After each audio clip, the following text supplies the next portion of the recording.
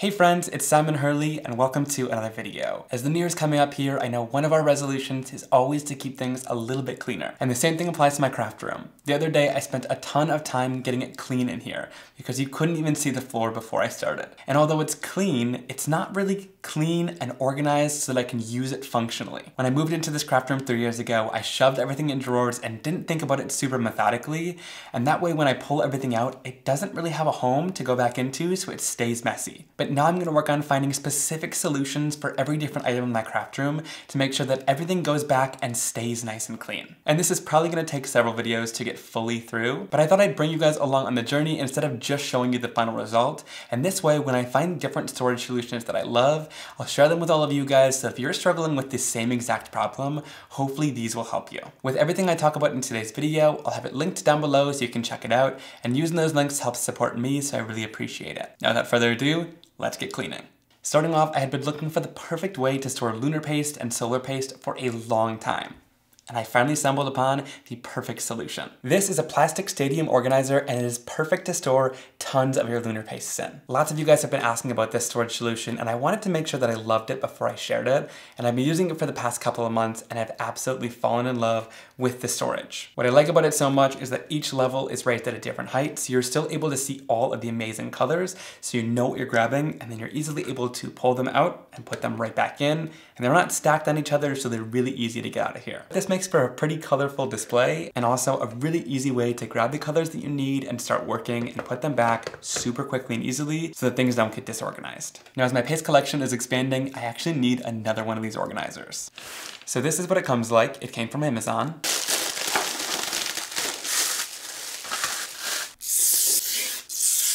I love this. We got some good unpackaging ASMR going on here. And then putting this together is quite simple. It comes with a pack of screws and nuts and also a little screwdriver. So starting off with one side, this is the orientation you're gonna want. You're gonna take the first little bucket here, line it up with the holes on the side, and you'll put your screw in from the outside and then grab a nut and screw that on from the inside to tighten it. And then for each hole, just keep following those same steps. So put a screw through and then screw on the nut. And then we'll do this side while we're at it. And I'm not fully tightening everything until I have them all in and can make sure that it's level. Then I can kind of eyeball this and make sure it's nice and level, and then hold the nut from the inside and use the screwdriver to tighten these into place. And then that's nice and tight and it's not gonna move anywhere. So usually while I'm screwing these in and putting this together, I'll put a TV show in the background, watch that, and it goes by pretty quickly. All right, last one. And then we'll tighten this right into place. All right, then it's as simple as that to create. It comes together pretty quickly and it makes a really beautiful storage. I love that it's clear so you can see through it to exactly what's inside. All right, and I also wanted to measure, these are about two inch openings inside here so it can fit anything that's a little bit less than two inches. I wanted to be sure to share that so you can know exactly what will fit in it from your stash and if this will work for you. So what I really love about this is of course that your lunar and solar pastes will fit inside of here so you can just place them right in. They fit perfectly and it fits six pastes per row with a little bit of wiggle room too, so they're not super tight in here, which is what I like about them. They're really easy to pull out and store. But what I also love about this is you can store lots more than just that. So you can store like your favorite cleaners, your spray bottle, that distress sprayer will fit perfectly in there. Your four inch mint tape roll will fit right in there. You can also store some of your favorite tape runners. These are the ones from Therm O Web and they fit really nicely in there as well. So you can also start storing some of your favorite tools and use it as kind of a display rack because I love that if this is in front of you and it's kind of on risers like that, you're easily able to grab from any type of level in here and pick out your favorite tools for your project and start getting to work. Wait a minute, I also just thought of different embossing powders. So these also fit in here absolutely perfectly. So these are the Ranger embossing powder jars. These are the 0.63 ounce jars, just kind of the regulation size, and they fit perfectly inside of here as well. So you can really store a lot inside of these. I think this two inch opening is perfect for lots of the different mediums inside your craft room. So this one was totally a win for me. I'll leave it linked down below. It's from Amazon. It's been one of my favorites for storing the lunar solar paste and like I said, lots of other stuff too. All right, next I wanna show you something that I've been doing this year that I really love. It helps me send more cards because all the supplies to send the cards are super organized in one place. I've definitely sent a lot more cards to friends than I usually do this year, all because of this, because if you have everything ready to go, it makes it super easy to send them. So I'm gonna start off with this mid-sized clear square container. I'll link down below where you can find some of these. Definitely check out some local stores like TJ Maxx or Marshalls. I also find that Target has this really great brand called Brightroom, and it's got a lot of clear containers like this for a great price as well. Now I'm gonna do something that you might think is a little bit weird and take a smaller clear square container and stack this right inside of here. This is going to house all of the different envelopes that I have in rainbow order. I like to have a different rainbow assortment of envelopes because it makes the card feel a little bit more special and kind of separates it out from some of the junk mail that some people might get in just a regular white envelope. These envelopes happen to be from Gina K Designs. They happen to be some of my favorites. They've got a nice basic flap on them and they're really great for sending off cards. And this is just a really small color assortment of the colors that she has. She's got a great selection, so I'll leave a link down below to her website where you can check it out. One of the other things that I want to put in here that I don't think that I talk about enough are these washi tape strips. I actually designed these at the beginning of my career. They don't get too much love because I don't necessarily show mailing cards in a lot of my videos. Now I'm gonna be so honest, we have a limited stock of these, so once they run out, they're definitely gonna be out, so stock up on them if you like them. It comes with eight sheets inside of a pack, and they are beautiful designs for sending off any cards to a friend or loved one. So instead of having big and bulky washi tape packs, these sheets are really super thin to store, which is amazing. There's cute little animals holding on to florals. I love this snail mail design. It actually has a little bit of gold foiling on each one of the snails. This is a great basic that I love to put on almost any envelope just to make it a little bit extra special. You can also layer these up and put the grass right beneath the animals to make it look like they're standing in there. There's cute little ladybugs and a nice stripe design as well. So I've got several packs of these. You can see that I've used quite a bit of the designs off of them, so I'm definitely going to restock with another new pack, but really great fun designs to put on your envelopes. So once I got my card inside of here, instead of licking the envelope, because I don't really love to do that, I like to just go in with washi tape. So I'll just carefully peel off one of the strips, and I'm gonna use the snail mail one. That one happens to be one of my favorite designs, just because it works so well with any different occasion. Just place it right across the envelope and it's perfectly sized to fit on the envelope really nicely. It's got a good amount of stick so it seals it off really well and check out just how adorable that is. And like I said, there's a little bit of gold foiling that you can see in there. It just makes the envelope that much more special. All right, and scrapbook.com sells these really great sturdy little plastic bags, which I really like.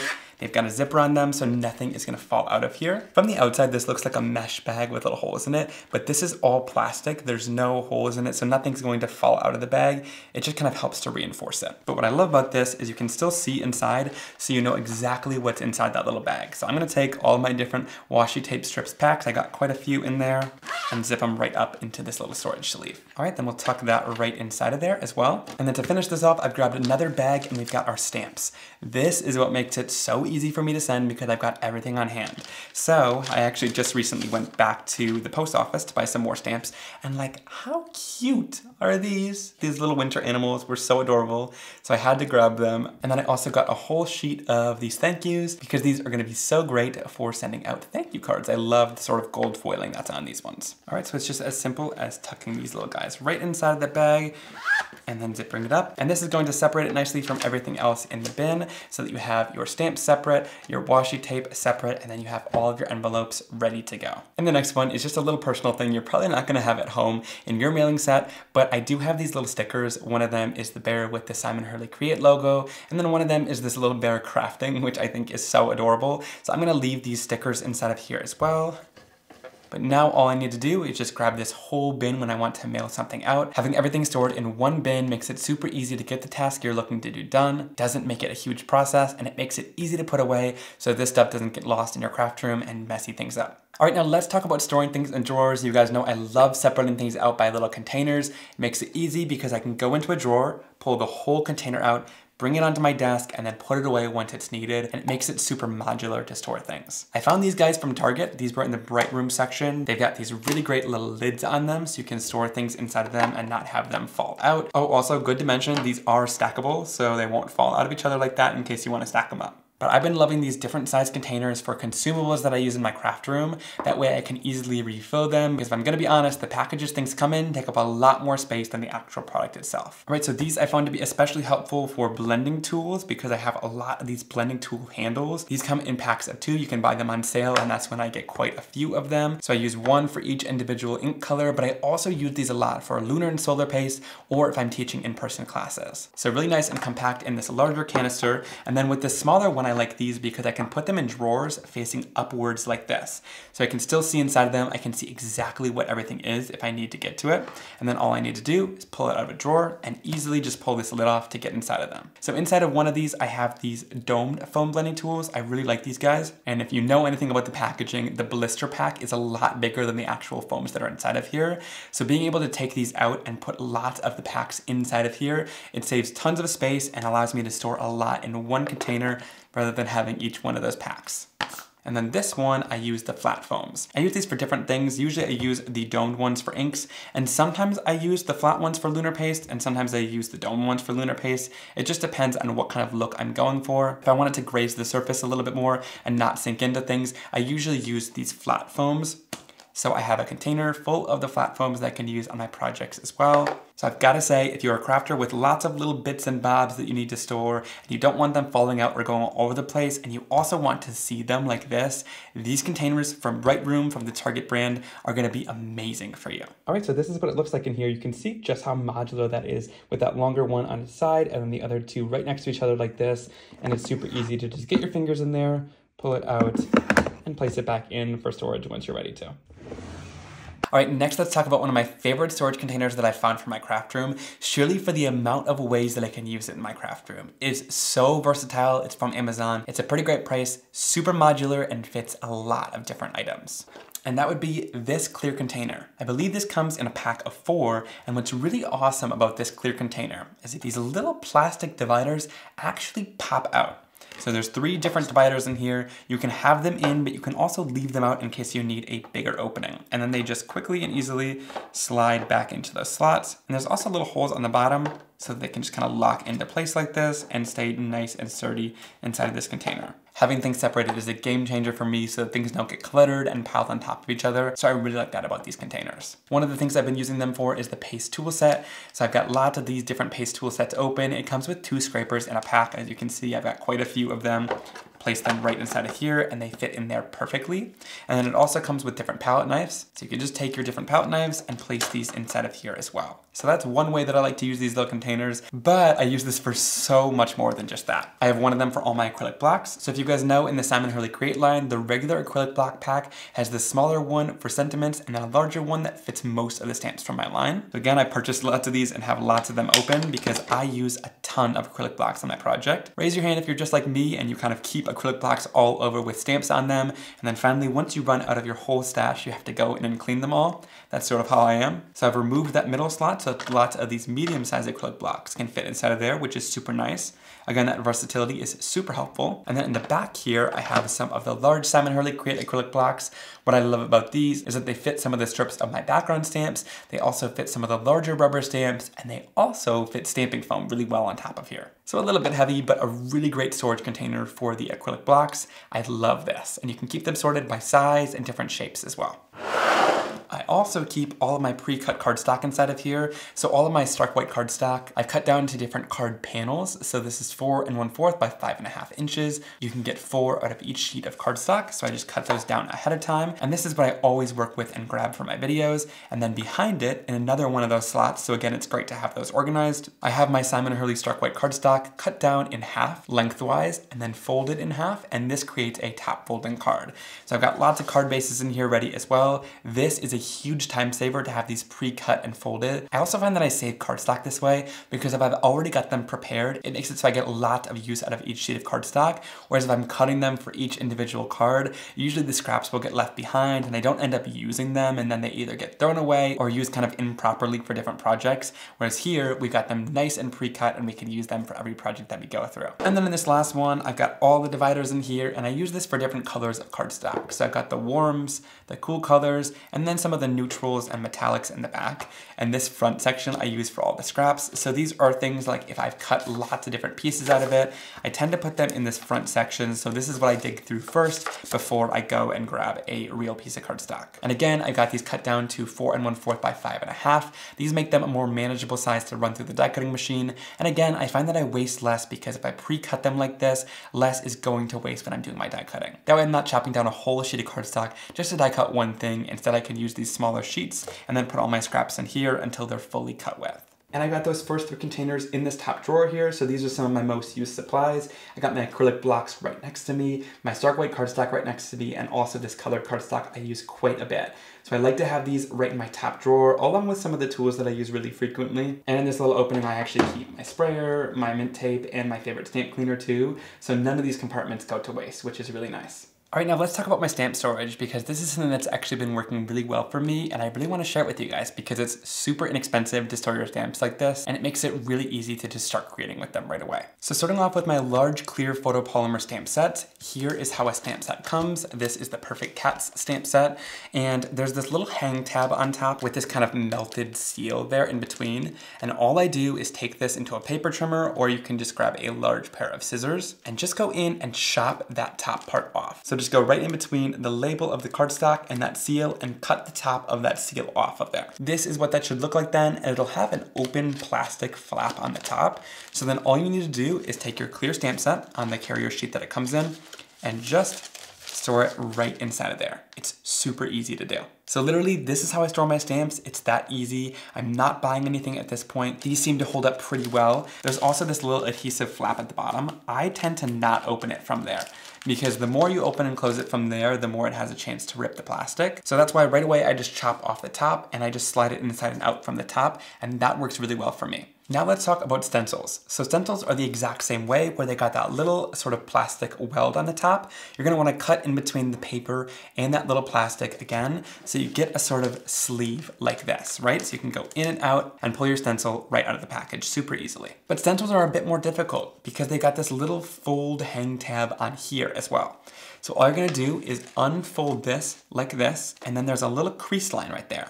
I also chop across that crease line and that leaves you with this nice navy blue background with the Simon Hurley stencils. So you can easily see your beautiful stencil design on here, but then the back has that nice example and the name on it as well. So once you got all that done, it's really easy to take out your stencils and slip them back in just from that top area. And again, it makes a little pocket. And again, I don't use this little adhesive from the bottom. I find that cutting this off makes the plastic a lot more durable over time. So again, saving tons of money because you're not buying storage. And it's really great because this navy blue background makes it easy to see the design. All right, now some stamp sets have coordinating die sets that go along with it that you can buy separately.